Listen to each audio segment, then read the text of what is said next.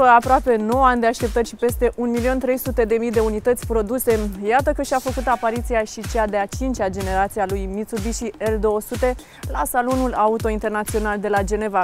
Alături de mine l-am pe directorul de vânzări uh, Mitsubishi în cadrul exclusiv auto, domnul Ciprian Vicol. Spune-mi, Ciprian, cu ce crezi tu că se deosebește acest uh, L200 de celelalte utilitare sport din clasa sa? Ehm, în primul rând vă mulțumesc pentru vizita la Exclusiv Auto, eh, dealerul Mitsubishi local. Ehm, credem că această auto utilitară este cea care definește cel mai bine conceptul de Sport Utility Truck. Este un tip de autovehicul intrat eh, foarte frecvent în utilizarea publicului larg. Este genul de autovehicul versatil care îmbină uh, capacitățile unui uh, SUV uh, cu capacități off-road avansate și capacitate de uh, tractare și uh, de transport uh, foarte ridicate. Asta sunt convinsă și eu, de aceea ai zis și tu că este o mașină perfectă pentru off-road. Știu că are o gardă la sol foarte înaltă. Eu o voi testa mai târziu alături de colegul meu Robert.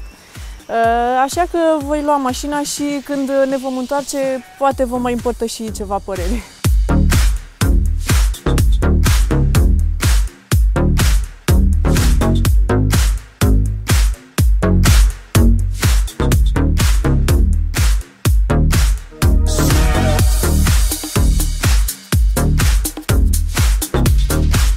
Eu am adus uh, mașina în siguranță sau nu pe drumuri asfaltate. Zic totuși de aici înainte te voi lăsa pe tine, fiindcă ești mult mai potrivit pentru drumurile astea accidentate, pentru off-road mai degrabă. Așa că vom face schimb de locuri. Ești profesionist, e mai bine așa. Îți mulțumesc foarte mult că ai venit tu până aici cu această mașină.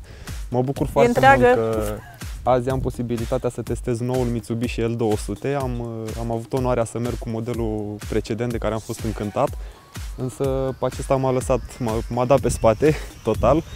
Este un adevărat off-roader cu un sistem 4x4 remarcabil pe care veți vedea în imagine care urmează ce anume poate să facă această mașină. Da?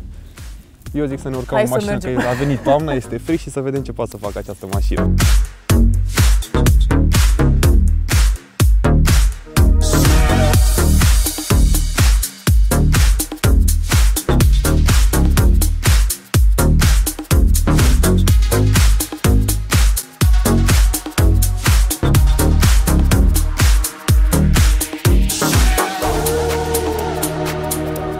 Echipamentele opționale prezente pe această cincea generație de L200 sunt într-adevăr la nivelul SUV-urilor actuale. Echiparea este una, putem să-i spunem, premium. Dincolo de spațiul foarte mare al habitacului, care este o consecință a designului J-Line, implementat de Mitsubishi încă de la precedenta caroserie, faptul că apartamentul poate să uh, asigure un uh, habitaclu foarte spațios a făcut ca atenția pentru pasageri să fie sporită. Avem deja echipamente care le regăsim uh, într-o altă zonă, în mod normal. Climatizare dublă, stânga-dreapta, electronică, faruri Big Xenon, un sistem de navigație foarte performant dotat cu sistem Bluetooth și cameră de luat vedere pentru mersul cu spatele, indicator de părăsire a benzii cu avertizor, echipamente care în precedent nu au existat pe acest tip de autovehicul.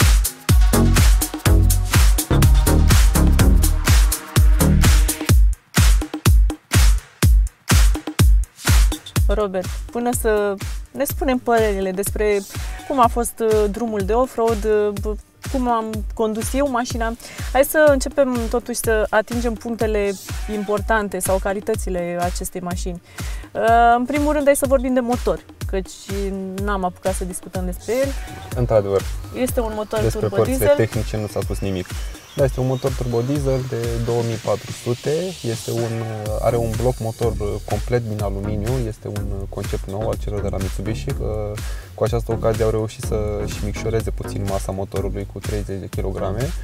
Asta se simte atât în ținuta de drum a mașinii, plus în puterea pe care o oferă motorul, care este, este net superioară modelului anterior. Are o cutie manuală în 6 trepte, 154 de cai putere. Corect și 300 de Nm.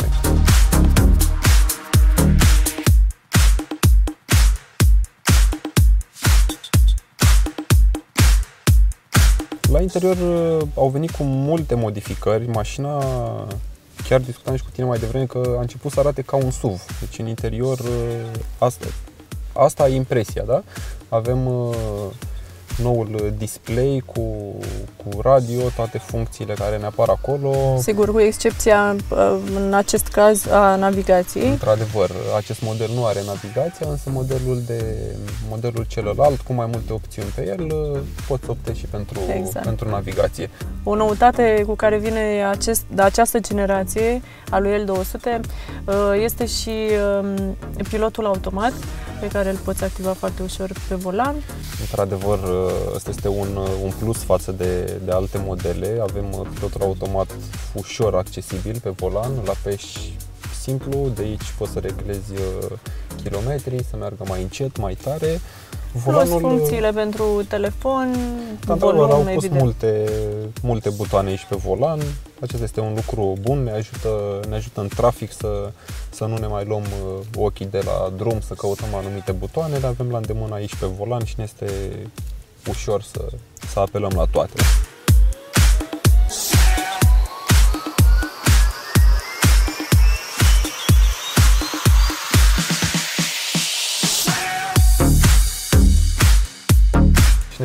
foarte spațioasă. Are o lungime de peste 5 metri Peste 5 metri, da, într-adevăr. Că tot vorbim de înălțime și de garda la sol, ajungem și la uh, tentativa noastră de a face off-road astăzi. Nu a fost doar o tentativă, chiar am făcut off-road Am încercat să-l și această puțin. mașină, această mașină poate, da? Este o mașină capabilă de off-road. Este. Zim cum ți s-a părut ție, fiindcă tu ești în măsură să vorbești despre asta. Haideți să-l și laud puțin. Tocmai a obținut omul locul întâi uh, săptămâna trecută la un concurs de off-road. La off-road, așa că am, am știut ce pot, ce pot să scot din această mașină. Cu siguranță. Uh, da, mașina în off se comportă foarte bine. Și, cum spuneam și mai devreme, are o gardă la sol uh, ridicată, are niște unghiuri de atac foarte bune, în față are un unghi de 30 de grade și pe spate un unghi de 28 de grade, ceea ce ne oferă posibilitatea să atacăm niște rampe mult mai înalte care poate că la prima vedere par aproape imposibil de abordat, însă mașina Mie mi s-au părut așa. El a zis că se poate și s-a putut. Este Mitsubishi L200 și am făcut astăzi uh, un off-road. Mulțumesc, Robert! Cu multă plăcere și vom mai face cu siguranță cu următoarele mașini. Sigur, am încredere în el.